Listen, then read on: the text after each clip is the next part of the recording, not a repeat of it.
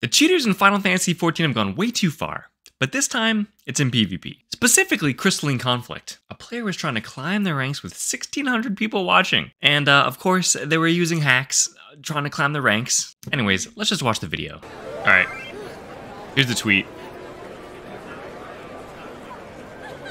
They're flying right from the start, which is pretty incredible. I'm gonna skip ahead a little bit. All right, start of the match. They're about to carry these people to victory, huh? Oh, they're out of the thing before the... Okay, dude. They're hacking before the game even starts? Are you...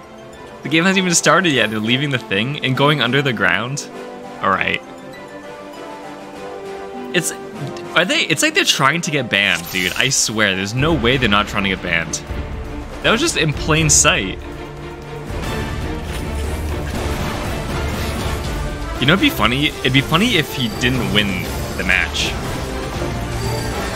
I mean, odds are good that they don't die. Yeah, what do you even do in this situation? You'd be so confused if you're on the other team. I feel like I've seen enough, dude. I wonder if his teammates know that he's down there. Probably not. I mean, they probably are wondering where they, where the player is. The fact that the crystal hasn't moved very much at all, and we're already a minute 30 in, is actually pretty remarkable. Goes for the ults. Actually, they didn't even they didn't even last hit him, dude. They didn't even last hit. This is horribly. You'd be horribly confused.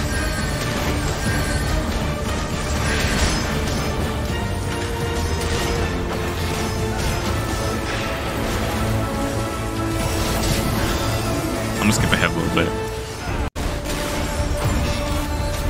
Ah, okay, they're winning. Overtime.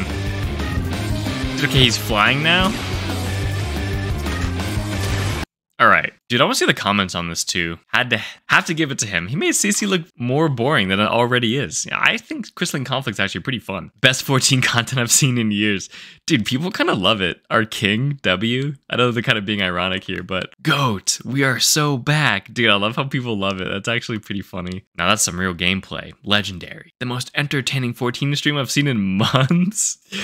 That's so interesting. Finally, quality gameplay. Our leader, my king. Dude, people are loving it, dude. People are loving it. It's so that's so funny, dude. Now this is some real PvP gameplay, dude. There's huh, people love it. All right, guys, this is this is what they can do. Hear me out. There's a few things Squeenix can do if if they want to fix this problem. I have a few ideas. First of all, I think they just put up some simple hack detection they detect if if they're out of bounds, if the player's out of bounds, if they're moving uh, at an insane speed. I feel like it would be very easy to detect. Um, we had that in Minecraft back in like 2011. Our our servers could detect that kind of stuff. I think also in PvP this is very noticeable where like a lot of the calculations are done client side and you especially see this if you're doing rival wings. If you queue up for rival wings and you play, and you've worked in tech, like me, you'll know, you'll easily recognize that the calculations done from the mechs are definitely done client side. Like if, if you're playing against a brute justice and they cast mega beam, most of the time you dodge it. You're out of the area of effect, but when it goes off, you still you still die. And the reason why that is is because the calculation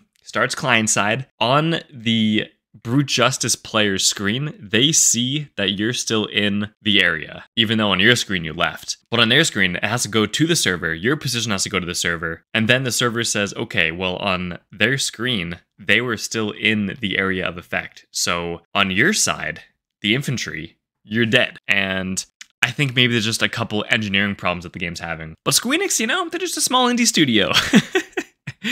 They're just a small indie studio, dude. Like, how, how much, how much more work can they do to their game?